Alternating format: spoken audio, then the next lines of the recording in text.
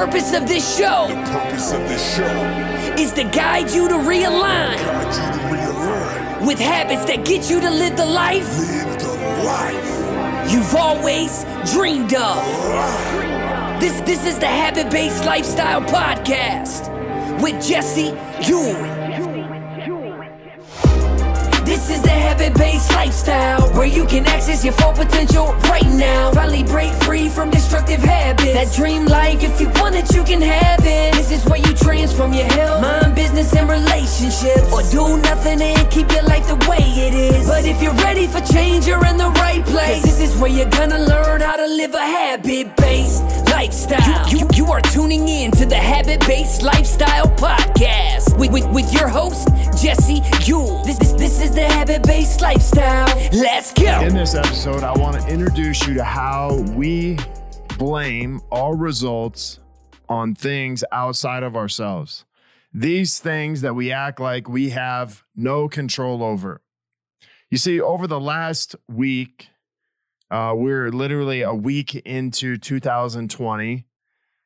And I've had a few of my coaching clients and a few people I've interviewed for our program str- simply struggling with results in certain areas, but not really knowing or at least being aware of what was going on. And I wanted to talk about this today because I think this is something that comes up for lots of people when it comes to, you know, weight loss, when it comes to their health, when it even comes to relationships, and when it comes to business, we tend to blame or put the blame on something outside of ourselves. And so many times, you know, this blame is what keeps us from actually dominating our goals, dominating what we want, and dominating really to to grow and pursue whatever result we're after. But the only way that I really see clients stop this blame and start dominating to get results is by simply doing this one thing and it's it's being accountable you know it's being accountable you know not to me as the coach but to the person that you are looking at or that they're looking at in the mirror every single day. You see it's really easy to say well I look in the mirror every day. I do my hair.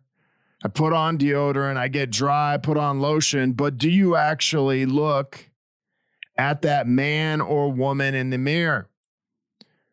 Not look past, not just glance, but actually look at that man or woman in the air. You see, the results you want in life are really simple. See, it's not about the money, it's not about the food, it's not about the workout. It's not about, you know, your spouse. It's not about them cleaning. You know, it's not about them how how they're showing up. It's not about your coach and giving you the wrong program. It's not about your coach or your trainer giving you the wrong diet. It's not about your parents. It's not about your bank account. It's not about your business. And this is one of my favorite. It's not about the quality of your leads. It's not about your clients either. You see, in life, in your results, it's all about you. That's right. It's all about you. Because here's what people tend to do they blame other people they blame other circumstances for their lack of results. And when we blame other people, we actually give away our power to that person. Like we take, imagine you have this superpower, and when you blame someone else, you are now giving that superpower away to them. Now I'm going to keep painting this out. When we blame our spouse, we give away our power to show up in the relationship. Now think about this. We blame our spouse, you know, for maybe not putting out, having sex. Lots of guys uh, probably could raise their hands to this. But listen, when you blame your wife for not wanting to have sex with you, not wanting to be intimate with you, what you're actually doing is giving her that power. And now you walk around a victim. And guess who doesn't want to sleep with a victim? Your wife. Your wife doesn't want to sleep with a victim. She's not turned on by a victim. She's not turned on by someone who mopes around. So if you want to change that, I'm going to get to it. But for right now, I want you to sit into this place. And ladies, no husband wants to help clean up around the house. If you're blaming him for not showing up at home, if you're blaming him for not doing all these things at home, he doesn't want that doesn't make him want to do those things. When you become a victim around your own home, he doesn't want to show up for you at home. Then we go into blaming our parents. See, if you blame your parents for everything that went wrong in your childhood, you're giving away your power to move on from your past because as much as you blame the past, you have to also give them credit for everything that's happened after that, good or bad. But when you blame them for what happened in your past, you're giving up your power to move on into the future. When we blame the church, I get so tired of hearing this. We blame the church for our relationship with God, yet it has nothing to do with the church or the people in it. And if you're using that as an excuse, you've lost your power and you've lost your relationship with God. And it has nothing to do with the church and it has nothing to do with the people in the church, your relationship with God. But you're giving up that power to have the relationship that you actually want. I can't tell you how many people say, Well, I don't believe in church. I don't believe in you know, what the church stands for is good. But guess what? When you say that, you're giving up your power to have a relationship with God or whatever you believe in that higher power. But I can tell you, so many people use that excuse, but it's in the way and getting in the way of them having an actual relationship with God. When we blame our quality of leads in business, I can't tell you how many times I hear people talk about, well, I'm getting leads, but the quality is not good. Well, did you call them? No, I didn't. How, are you reaching out to them multiple times a day? Well, I called them once, but they didn't call me back. You were giving up your power to create new business because you tried to contact that person one time, or you don't think the quality of lead that you're actually getting is good enough to call. Well, guess what? They're filling out your paperwork. So that should be quality enough. And if you can't tell them some other place to go to get help, then you shouldn't even be in the business that you're doing. Here's one of my favorites. When we blame food, we blame fast food, we blame bad food, we blame expensive food. When we blame food or I just like food, when we blame stress eating, when we do this, we're giving up our power to change the way that we actually eat. Think about this. This is the most ridiculous thing I've ever heard in my life. I just like sweets. Well, guess what you just gave your power to? You gave your power to sweets. So, of course, you're not going to change the way you eat. Well, I just like carbs. Well, guess what? You just give your power away to carbs. I just like to eat. You're giving away your power to change anything that you do when it comes to food. But stop it. Stop blaming food for the excuses that you have because it takes the same amount of power to blame food as it does to change your relationship with food. You've just made one a habit, and all you have to do is just switch that around. See, when we blame or when we use stress, I'm just stressed. I'm just anxious. I'm just really worried. I'm just fearing this. This is an excuse for you to actually stay stuck, to give up your power and stay stuck in your place. Now, think about how often you may feel stressed, you may feel anxiety, you may feel worry, you may feel doubt, you may feel fear. These are all normal things that we feel. I feel these things. And there's not a day that goes by that I don't feel one or multiple of these. But if I use it as my excuse, I'm giving up my power to stay stuck in that state. If I use stress as my excuse to not do something or the reason why I can't, I'm giving up that power. I'm giving up that, I'm using that excuse and giving up my power to stay stuck. If I'm using fear as an excuse, hey, I didn't do this because I'm afraid, that's giving me the power to stay stuck. And so a lot of times we feel stuck because we use being stuck as the excuse of not moving forward or not actually doing the shit that we know we need to do.